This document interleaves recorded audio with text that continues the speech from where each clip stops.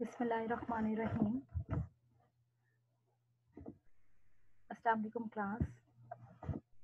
Today we are going to discuss the second half of the glycogen metabolism which is known as glycogenolysis. What is glycogenesis? Glycogenolysis. Glycogenolysis is the degradation or the breakdown of the stored glycogen which is present in the liver or the muscle to give the glucose units. Why the glucose units are needed in order to provide the energy for uh, uh, other uh, suitable and the desired metabolic reaction which are going in the body. The pathways which are used for the synthesis and for the degradation of the glycogen like glycogenolysis, these two reactions or the metabolic process are not the reversible ones. And independent sets of the enzymes are required to carry out these two reactions which are present in the cytosol. Therefore, glycogen degradation uh, is carried out by breaking the alpha 1,4 and alpha 1,6 glycosidic bond. In last lecture, we have discussed what is the glycosidic bonds, how they are formed. One uh, 4 glycosidic bond causes the linear arrangement or the linear uh, fashion for the glucose units uh, accumulation or the assembly. Whereas for the 1,6 glycosidic linkage, the branching is taking place. Therefore, in the glycogen, both the 1,4 and the 1,6 glycosidic linkage is present among the glucose units.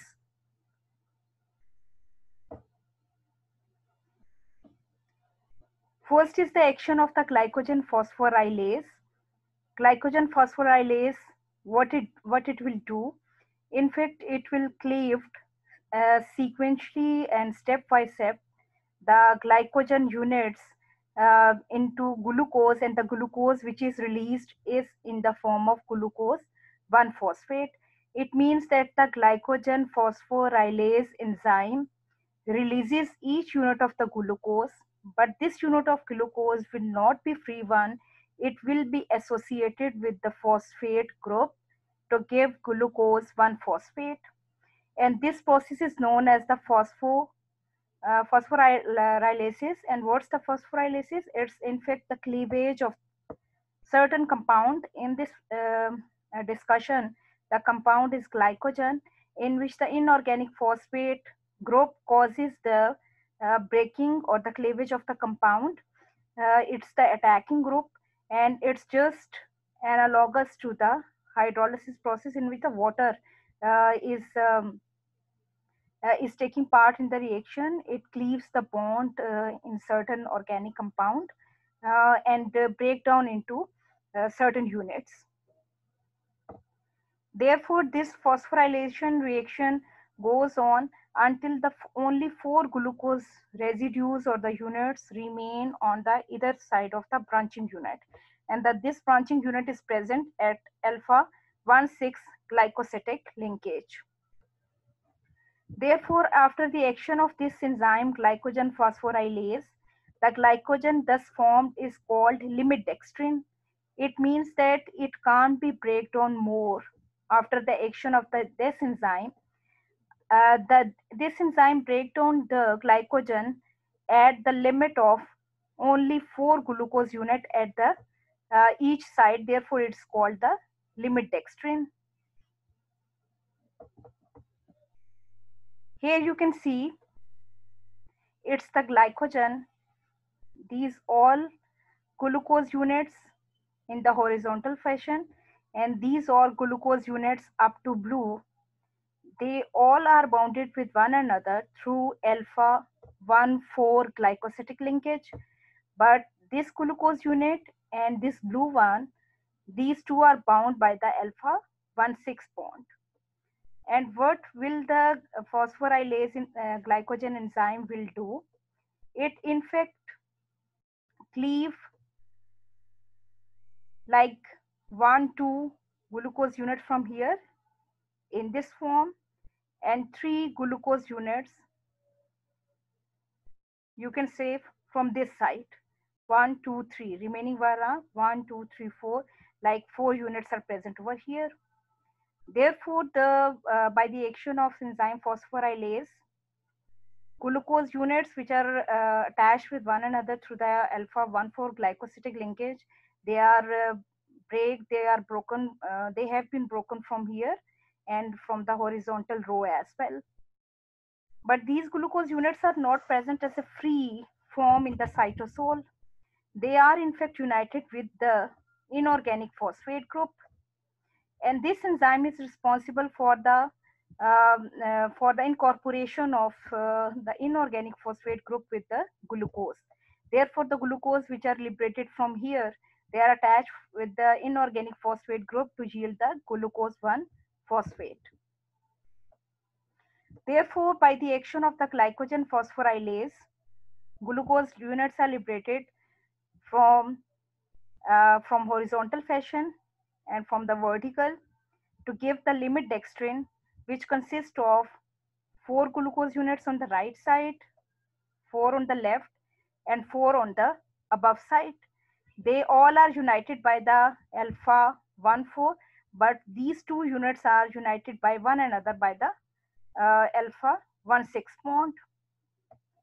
And uh, a, a simple description about the phosphorylase enzyme is that it possesses a molecule of the pyridoxal phosphate, which is covalently bound to the enzyme and it impart a very important role in the phosphorylation of these glucose units.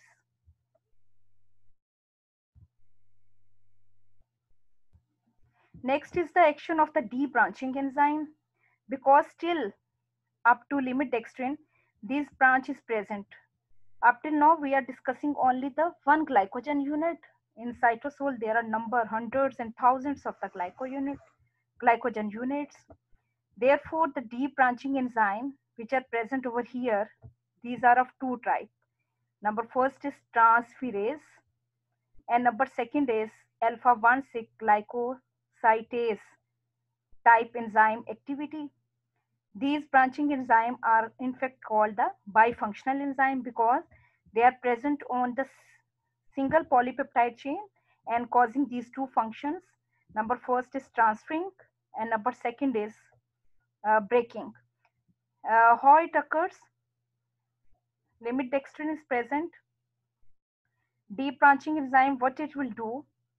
It will take like these glucose units which are showing uh, which are uh, here they are shown in the red color one two three. It will take from here and attached with the glucose units which are present in the horizontal row. From here the alpha 1,4 glycosidic bond is breaking and new alpha 1,4 glycosidic bond is making over here it means that it will take glucose unit from here, drop it uh, on this side. Similarly, second one, third one. It means that the glucose chain is going to be built up, uh, going to be longer uh, in the uh, this horizontal serial uh, pathway.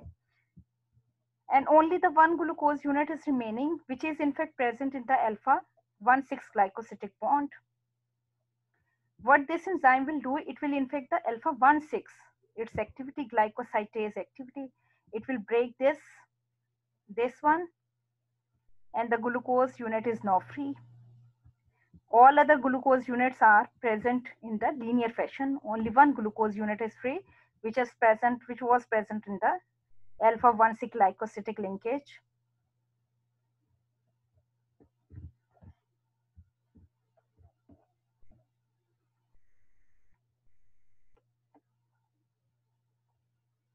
Here is the um, here's the description of these uh, all uh, pathways that uh, in fact the fragment of three to four glucose residues are mm, residues attached at the branch and transfer them to the another chain. And these two alpha 1 4 bonds they are not same. And lastly the amylo alpha 1 6 glycosylase break the 1 6 bond to release a, a free glucose units Last is the formation of the glucose 6-phosphate and glucose. You can see from here, one unit made is or one compound which is made over here is glucose 6-phosphate. Second one is glucose. What's happening here? In fact, at this stage, when there are a lot of number of glucose units which are united to one another by alpha 1,4 glycosidic bond, further action of phosphorylase enzyme causes that this glucose unit it will be break from here and transferred to the phosphate group.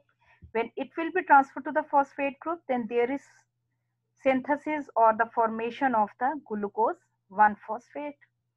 But next uh, action is uh, of the phosphogluco uh, mutase enzyme is simply mutase this glucose molecule from uh, by transferring the phosphate group which is present at the first position to transfer it to the sixth position.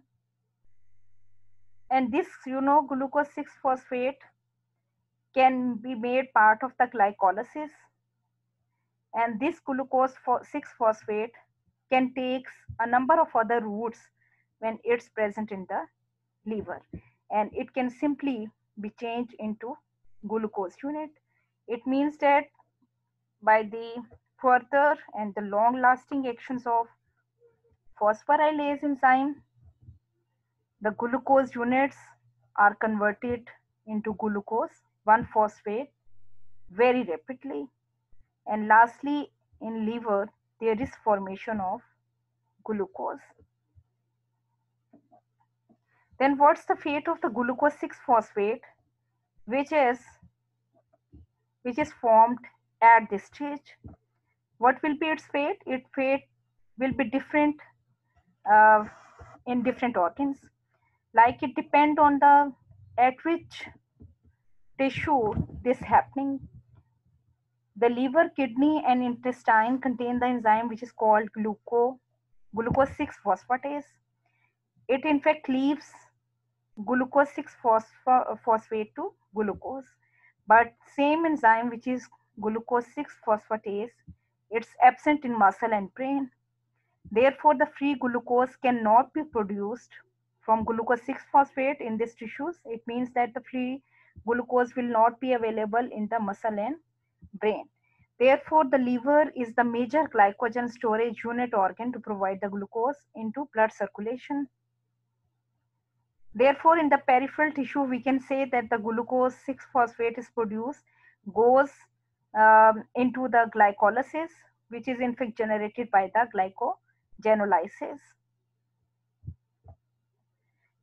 Here is the complete pathway while starting from the glycogen unit, action of phosphorylase enzyme, transferase, glycosylase enzyme, how glycogen is changed into glucose in the liver.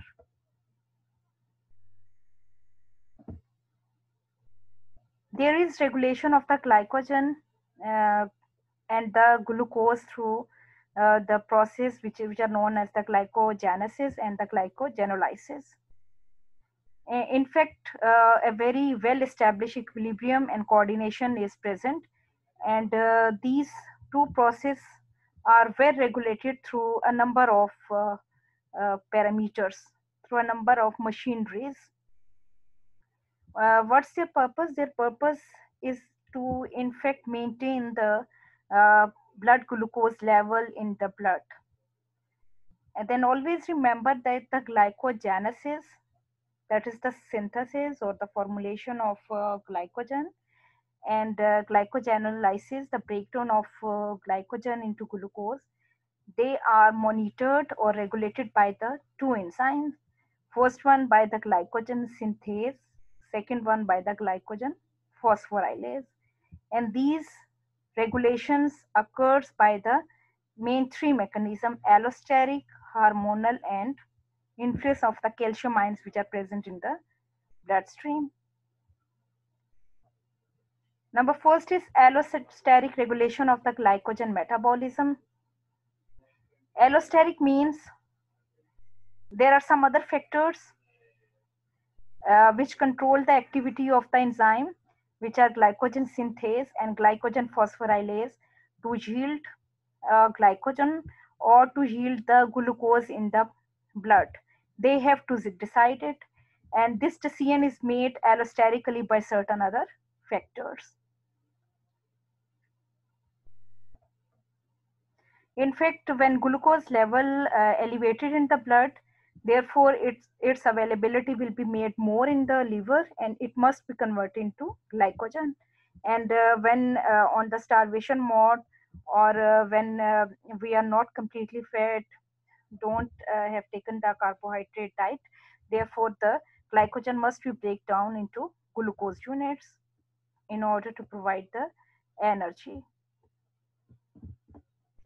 Here is the regulation that uh, there is equilibrium between the glucose 1-phosphate and the glycogen. Glycogen uh, breakdown into glucose 1-phosphate is monitored by the glycogen phosphorylase, whereas uh, its conversion to glycogen is monitored by the uh, glycogen synthase. Here is role of calcium ion, which is monitoring this enzyme there is role of glucose, ADP, and glucose 6-phosphate. And glucose 6-phosphate, here is role for the glycogen uh, synthase activity. Therefore, the hormonal reaction, uh, hormonal control reaction is in fact a complex series of the reaction. Uh, they are brought through the uh, covalent modifications and uh, there is uh, phosphorylation and dephosphorylation of the certain enzyme proteins or ultimately which control the synthesis or the degradation of the you can say glycogen here is the complete pathway which is controlled by the hormonal regulation and uh, CAMP take it part it's in fact a second uh, second messenger for the hormone. Hormones like ephedrine, norepinephrine, and the glucagon, which is present in the liver, they activate the adenylate cyclase. They activate the its inactive form. These hormones activate the adenyl, uh, adenylate cyclase to the uh, its active form one and the enzyme uh, phosphodiester break down the CMP. Uh, therefore, the hormone insulin increases the phosphodiester uh, activity in liver and lowers the level of uh, CMP, CAMP. And the regulation of glycogen synthesis by CMP occurs uh, by the enzyme glycogen synthase how it occurs? How it occurs? It occurs by the uh, glycogen synthase A and B. But uh, here we are discussing the regulation for the glycogen degradation and this degradation is monitored by CAMP. The hormones like ephedrine and the uh, glucagon, these bring about the uh, glycogenolysis uh, because uh, glycogen phosphorylase enzyme is in fact uh, activated or the monitored by the CAMP. CAMP formed due to the hormonal, you can say, stimulation by this process. It activates CAMP dependent protein uh, kinases. And uh, then is uh, active protein kinase phosphorylate inactive form of the glycogen uh, phosphorylase kinase to the active form uh, inactive form then into active one then active phosphorylase kinase phosphorylates uh, inactive uh, the glycogen phosphorylase uh, B to the active glycogen phosphorylase like here from the inactive to the uh, active one. Uh, therefore, which degrade the in turn glycogen to glycogen 1-phosphate. It means that this activity is started from here. It goes on in this fashion. then this cyclic procedure this one activate uh, the glycogen to be converted into glycogen A uh, into glucose 1 phosphate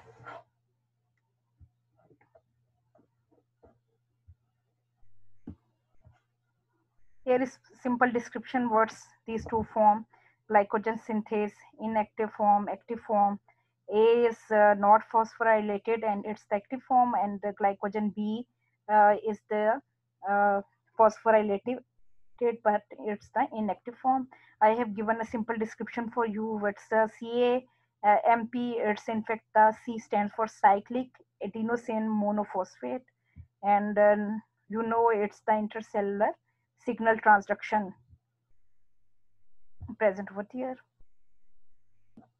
Lastly, the glycogen storage diseases.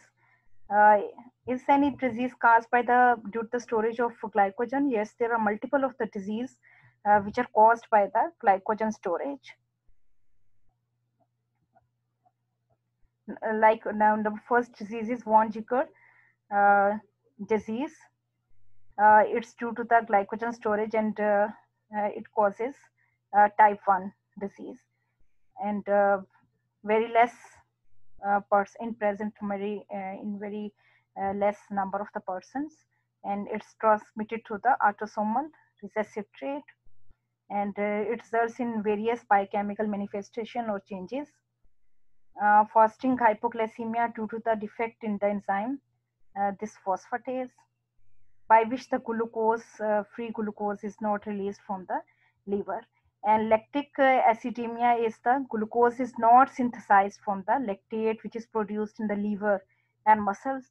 Uh, and lactate level therefore rises in the blood. When lactate, lactate is then derived from the lactic acid, therefore the uh, acid level elevated in the blood and it causes the acidosis. Uh, and this is the table for the multiple diseases which is formed due to glycogen storage. Uh, if glycogen is going to be stored, here is the organ like liver, kidney, intestine, all organ, skeletal muscles. Uh, and these are the name of the diseases. And uh, due to the glycogen storage, which enzyme is defected? These are the list of enzyme. And uh, what are the characteristic features. Uh, like you can see from here, there are uh, many uh, diseases result in the changes in the liver size, heart size, uh, results in the impairments in liver function. And you have to go through these uh, diseases.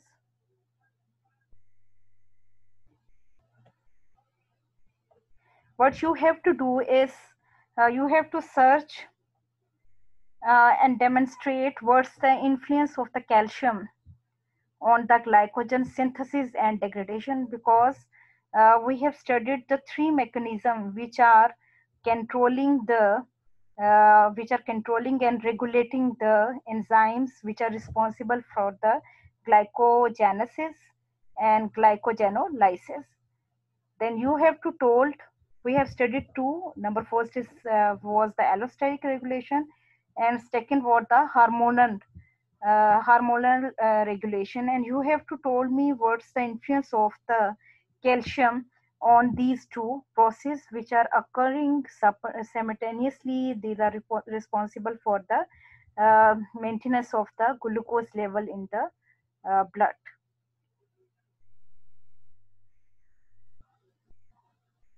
Best wishes. Go through these all lectures